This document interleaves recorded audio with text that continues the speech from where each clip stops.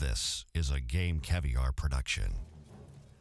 With all the new games coming out, especially with Gears of War Judgment just dropping this week, it may be easy for somebody to overlook the games of past. Tomb Raider is still a very new game. It hasn't, I don't think it's been out for a month, uh, if that.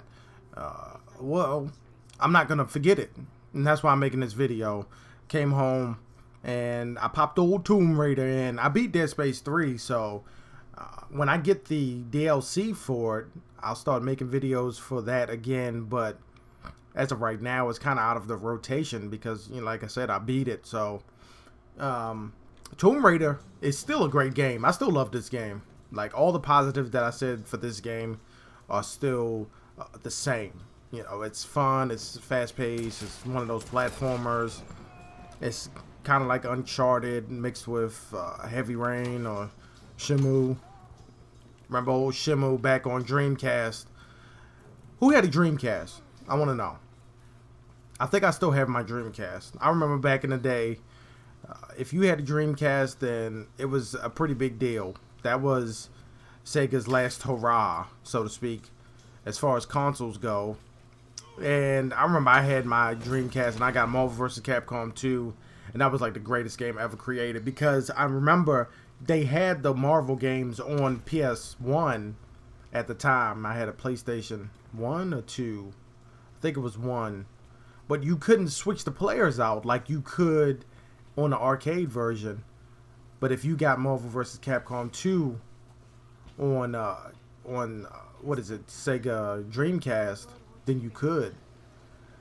I was like unheard of. So when it happened, when I got that game, I was like, man, that's crazy.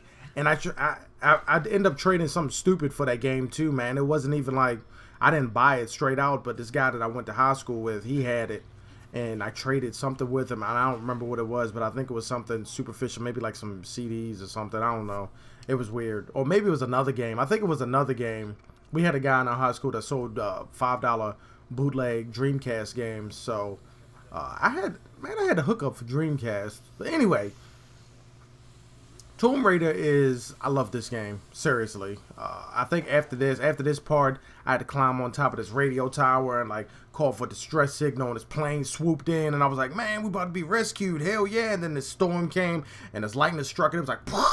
And the plane was like, and it hit the ground, and like I had to slide down this hill because this this airplane motor was like behind me, and then if I had to go left or right so I wouldn't get crushed by the debris, it, it was just it was good.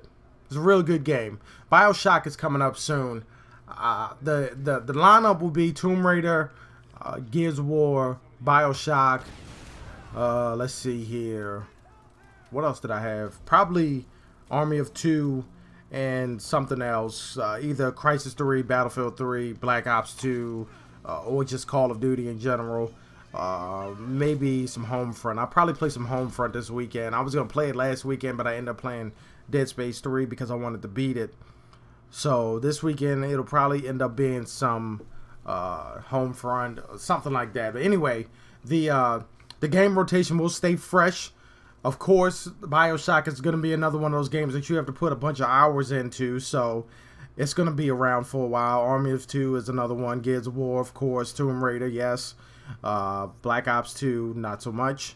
Uh, Crysis 3, no. You know, the Homefront, Black Ops 2, Crysis 3, those are all like online strictly games. I'm not going to be showing any any uh, single player campaigns of those games. First of all, I haven't touched the single player ca campaign of Crysis 3 or Black Ops 2, and I beat Homefront, so there's really no point in. And it's an old game anyway, so it's really no point in me going through and playing the single player campaign.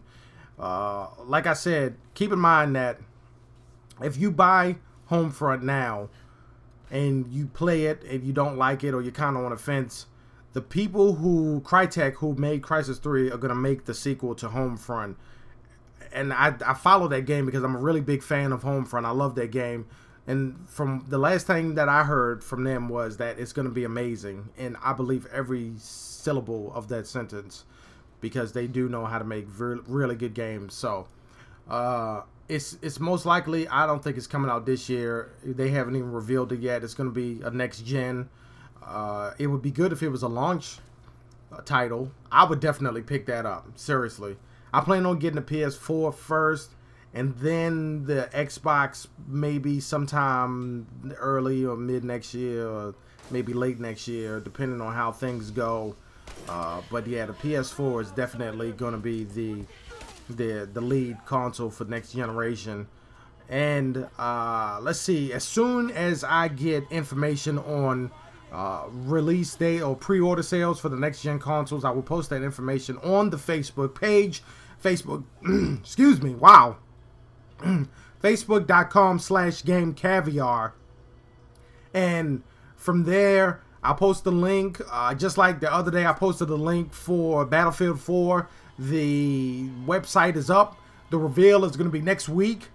If you go on that website now, I posted this on Facebook, but if you go on that website right now and you log in to the website, you actually get a dog tag that you can use in uh, Battlefield 4.